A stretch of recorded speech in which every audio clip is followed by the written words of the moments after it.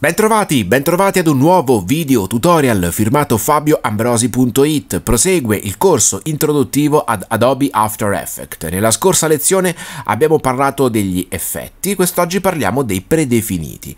Beh, i predefiniti in realtà sono degli effetti, ma la cosa bella è che sono degli effetti già pronti all'uso. Non dobbiamo preoccuparci troppo di mm, eh, settare i vari parametri, inserire keyframe, eccetera, eccetera. L'effetto è già pronto, basta applicarlo aggiustarlo, modificarlo per customizzarlo un pochettino e il gioco è fatto. Vedrete che è molto molto semplice, molto potente e anche molto molto divertente.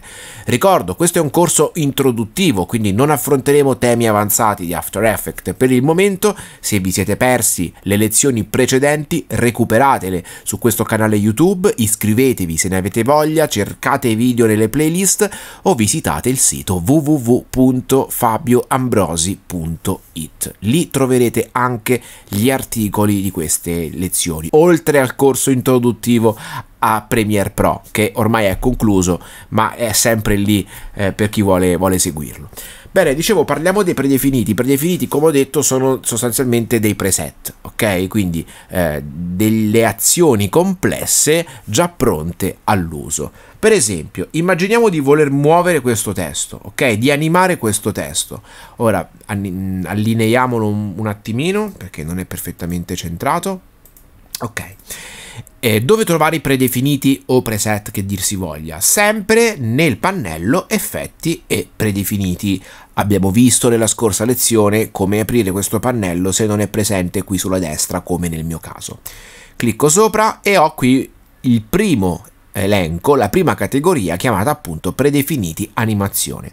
Espando questa categoria, ingrandisco così da permettervi di vedere meglio e come potete vedere abbiamo qui tutta una serie di predefiniti eh, distribuiti in varie cartelle. Ogni cartella ovviamente è una categoria. Per esempio, se volete lavorare con il testo, abbiamo la categoria text con al proprio interno altre sottocategorie in base a quello che vogliamo fare con il testo. Potremo per esempio applicare effetti di scala, potremo per esempio applicare effetti grafici, espressioni, sfocature, animazioni in ingresso, animazioni in uscita, testo 3D, eccetera, eccetera, eccetera, effetti organici. L'unico modo per capire un effetto cosa fa è testarlo. Ora io non sarò qui a spiegarvi ciascuna categoria cosa fa, vi consiglio di perdere un po' di tempo con ciascuno di questi predefiniti e imparare un pochettino cosa fa il singolo predefinito in maniera tale che quando vi servirà e avrete l'esigenza di fare qualcosa potrete attingere al cassettino della vostra memoria e dire ah ma c'è quel preset che mi risolve subito il problema. Ok? Come si applica un predefinito? Beh allo stesso modo in cui abbiamo applicato un effetto. Lo abbiamo visto nella scorsa lezione.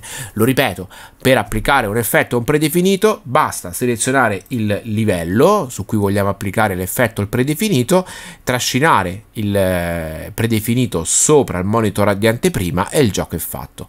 In alternativa potete trascinare il predefinito direttamente sul, sul, livello della timeline. Facciamo un esempio, questo è un testo pronto all'uso, testo di esempio, cerco nella categoria text eh, un effetto che può essere simpatico e veloce da visualizzare, per esempio andiamo a cercare l'effetto eh, incursione, eccolo qua lo trascino sopra al livello della mia timeline e guardiamo cosa accade. Mando in play.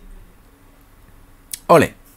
In realtà quello che viene fatto qui non è applicare degli effetti, ma vengono sfruttati gli animatori del testo, non ne abbiamo ancora parlato, ne parleremo un pochettino più avanti, per creare animazioni complesse. Proviamo a vedere un altro effetto che cosa fa, per esempio l'effetto Newton interessante, il nome è molto interessante. Vediamo.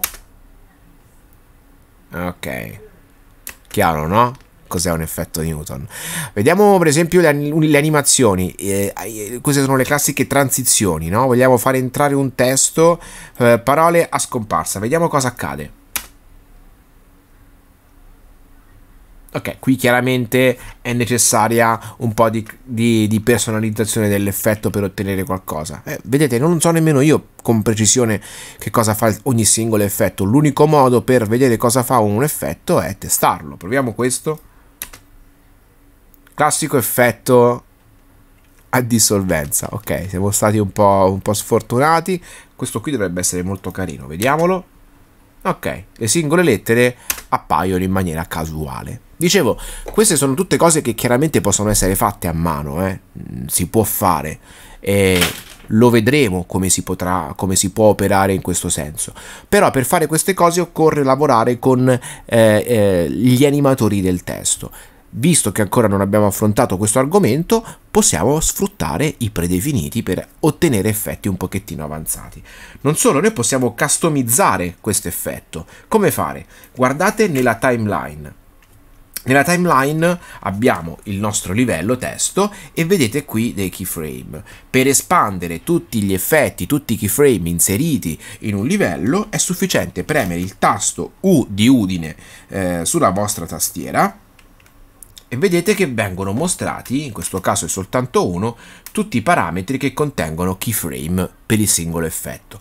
Bene, io per esempio diminuendo la distanza tra i singoli keyframe posso accelerare eh, l'ingresso del testo. Proviamo.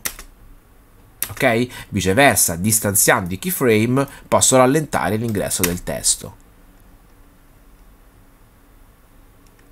Perfetto. Per rimuovere chiaramente il predefinito basta individuare nel livello dove è stato inserito il predefinito, rimuoverlo e il gioco è fatto. Ora qui siamo un po' sfortunati perché il predefinito del testo, come si diceva prima, è qualcosa che ha a che fare con, eh, con gli animatori, quindi dovremo andare a modificare l'animatore, ma facciamo CTRL Z e torniamo al punto di partenza. Bene, ovviamente possiamo costruire anche i nostri predefiniti, però è argomento un pochettino più avanzato e lo teniamo per la parte avanzata del corso. Per il momento mi fermo qui, vi ricordo di venire a visitare il mio sito internet www.fabianbrosi.it, iscrivetevi a questo canale YouTube per non perdere anche i prossimi video, cercatemi su Facebook, c'è la pagina da cliccare, la pagina è Fabio Ambrosi, mettete un like e teniamoci in contatto. Grazie! Grazie, al prossimo video, ciao!